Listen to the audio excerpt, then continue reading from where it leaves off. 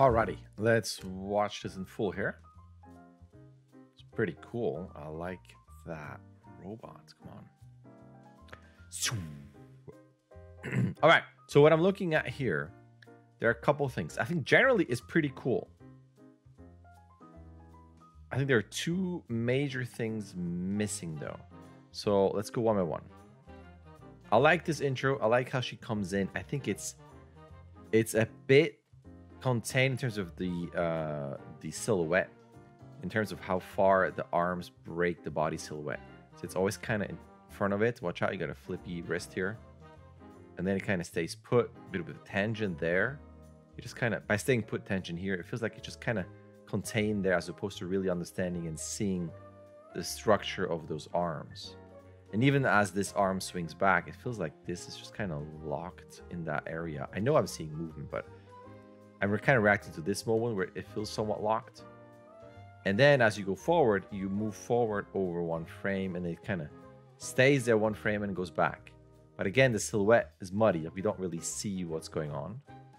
And then as the other arm moves back, it has a bit of a move back down and then it kind of stays put a bit and then suddenly goes back up with a really bent wrist. And then as it goes back again, especially with the dark in front of the dark of the robot, the silhouette gets kind of muddy as opposed to potentially bringing this out. You might also have to change the colors. Imagine you bring this arm out. You're gonna have that white in front of this white. It's just you have to kind of look at how we can get a color silhouette out of this. But I think the arms are a bit too contained. And then you go back here and shoot forward over two frames and then we lock. Do you see how those hands shoot up and then they just kind of stay put? So it feels like that swing is too big for something that only goes this high. That is cool. I love this though. That is great. Going up, you can probably offset the legs a bit more. Yeah, maybe, tiny bit. Into this, that's cool. Into like an immediate into this, that's neat.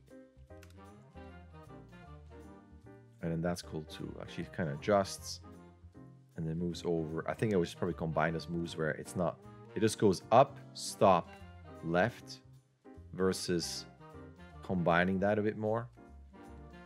And I think the hookup is okay. Technically, that arm is below. I think it should be okay. She looks over. Yeah, yeah, we buy this. That's the uh, that's the uh, technical thing. The two major things I was talking about is this: when she turns around, she besides a broken wrist. I don't want to go into crazy detail here because my question is, what is this face? Like, what? She looks super bored. Now, I'm gonna assume that you just haven't gotten to the face yet. And again, watch out for silhouette. You're kind of losing the structure of those arms there. But what what does she feel like? Why does she go over there? Is she being chased? Would she look around still? Is she just there's an alarm? She's just ready to fight and she's just determined or she is, but then she's still kind of nervous. Maybe on the way down, the eyes just look up and she has a bit of a concerned face.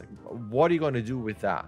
And I think, however she feels, is going to change some of the moves here, potentially some of the moves here. Probably not too much, but that's probably going to get more into detail here. And once you get into this, we're super, super twinny. I know there's an offset in terms of height here, but generally she feels just very mirrored. Even the last pose, you know, I don't know if this has joysticks that you can grab. She can maybe you can add some buttons that she can push. All depends, unless you just want it to be stoic and then she goes down, but it just, it just feels a bit lifeless. So that's what I would suggest there.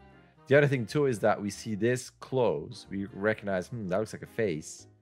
This closes. That's the other major thing. We go up there and I was waiting for eyes to turn on. If those are the eyes, I don't know. I'm not quite sure what I'm looking at. But imagine something happens, head goes up, and gets ready to fight. It feels like there's an ending missing.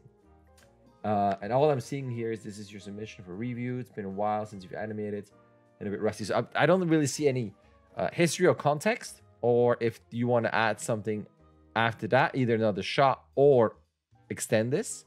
So it's kind of like half critique, half question, and uh, I hope I hope that helps.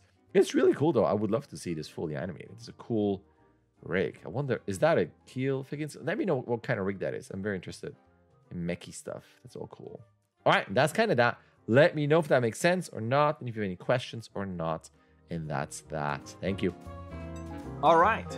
There's an email. You can sign up. You can start whenever you want. You can submit whenever you want. You get 16 submissions. Either way, a like and subscribe would be awesome. All right. Thank you.